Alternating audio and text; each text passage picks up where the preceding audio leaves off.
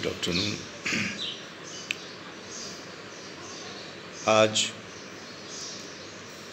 कौमी तालीमी पॉलिसी 1986 की खूबियाँ और ख़ामियाँ के बारे में ज़िक्र करेंगे। जैसा कि आप जानते हैं कि हिंदुस्तान की आज़ादी के बाद बहुत सारी कमीशनें बनी और उसका हर मौके पर जायज़ा लिया गया, जो उसमें खूबियाँ थीं, उसको लागू किया गया, जो खामियाँ थीं वक्ता फ़वक्ता नई नई पॉलिसियाँ सामने आई, कमीशंस आए और उसको इम्प्लीमेंट किया। इसी तरह से कौमी तलीमी पॉलिसी 1986 की कुछ खूबियाँ भी हैं और कुछ खामियाँ भी हैं। लिहाजा भी हम कौमी तलीमी पॉलिसी की खूबियों का ज़िक्र करते हैं। पहला,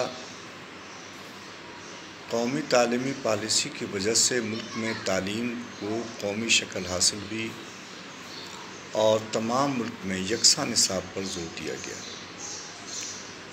दूसरा सैलसानी फार्मूले के तहत कौमी ज़बान, मादरी ज़बान और इलाक़ाई ज़बान को निसाब में मुनासिब नुमाइंदगी हासिल हुई, जिसकी वजह से कौमी यकजहती को बढ़ाने में मदद मिली।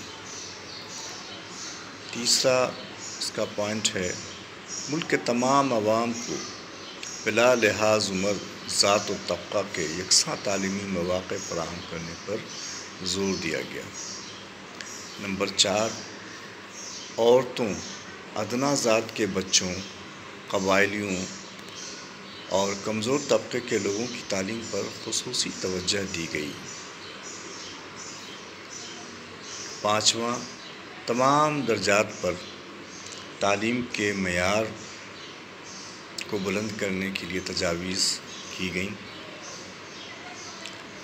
छठा नसाब की तजदीद और मैार की बुलंदी की ज़िम्मेदारी मरकज़ी हुकूमत, रियासती हुकूमत के साथ साथ मुकामी अदारों पर भी रखी गई। सातवां, बेरोज़गारी के ख़ात्मे के लिए पेशा वाराना तालीम पर ज़ोर दिया गया। आठवां है, यूनिवर्सिटी तालीम में लचक पैदा करने के लिए आला तालीमी अदारों को खुद अख्तियारी देने की तजवीज़ रखी गई।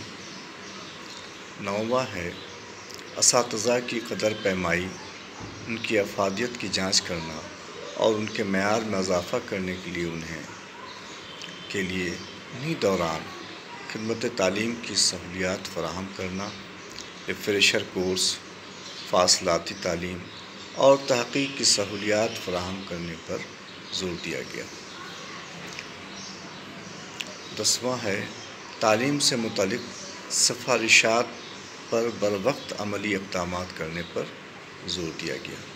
ये हैं इनकी खूबियाँ।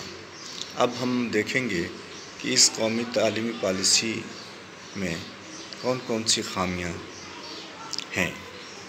पहला है, कौमी तालीमी पॉलिसी में निजी अदारों के ज़रिए चलाए जाने वाले प्राइवेट स्कूल के ताल्लुक से कोई तजवीज़ नहीं रखी गई। दूसरा, निजी अदारों के ज़रिए मुनाफाखोरी और तजारती खतूत पर चलाए जाने वाले तालीमी अदारों पर कंट्रोल रखने के लिए मौसर इकदाम का फकदान कौमी तालीसी में पाया जाता है, जो कि आज भी हम इस चीज़ को महसूस करते हैं कि जो भी निजी अदारे हैं, उनके यहाँ कोई ऐसा सिस्टम नहीं कि आम बच्चों को उसका फ़ायदा मिल सके। उसकी वजह यह है कि डोनेशन और फ़ीस इस कदर है कि हर बच्चों का उसमें एडमिशन लेना मुमकिन नहीं। इस पर गौर खास नहीं किया गया। तीसरा है गरीब तलबा और देही इलाक़ों के स्कूलों और अमीर तलबा और शहरी इलाकों के स्कूल के दरमियान फ़र्क को मिटाने के लिए कोई तजवीज़ नहीं रखी गई। चौथा ऑल इंडिया एजुकेशन सर्विस के क़्याम की तजवीज़ पर आम राय न बन पाने की वजह से इस पर अमल दरामद न हो सका।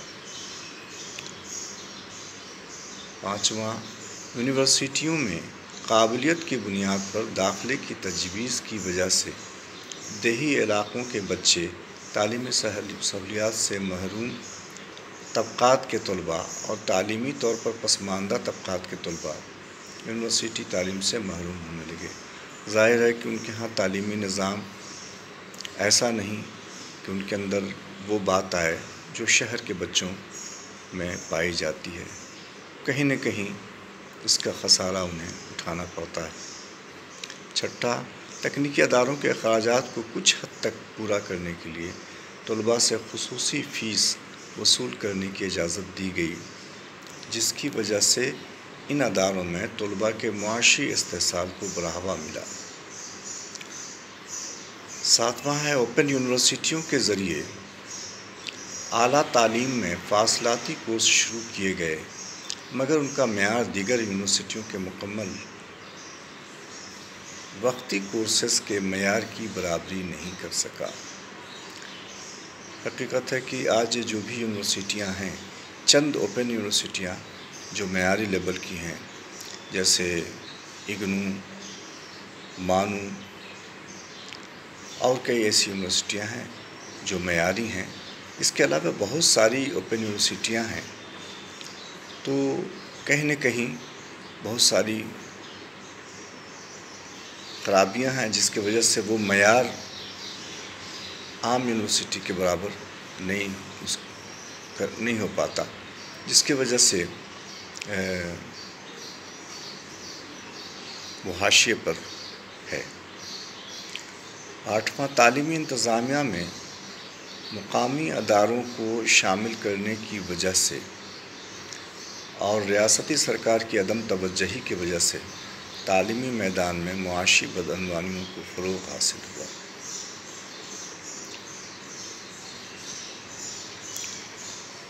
नौवा है, तालीम बालगान की ज़िम्मेदारी इस और तलबा पर डालने की वजह से तलबा की तालीम मुतासर हुई और इस पर काम का बोझ बढ़ गया।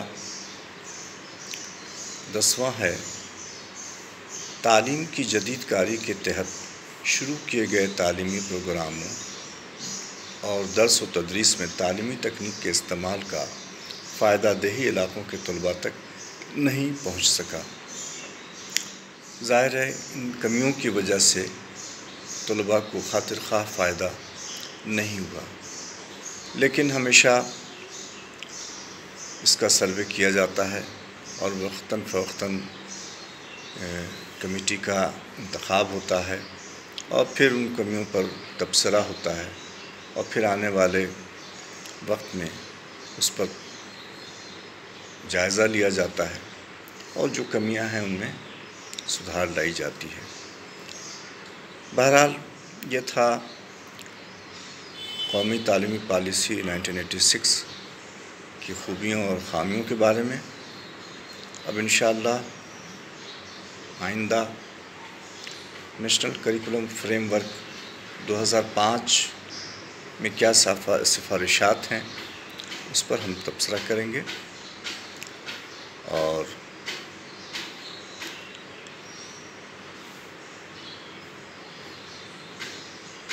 अगला फिर जो टॉपिक होगा, उस पर तवज्जो देंगे अल्लाह हाफ़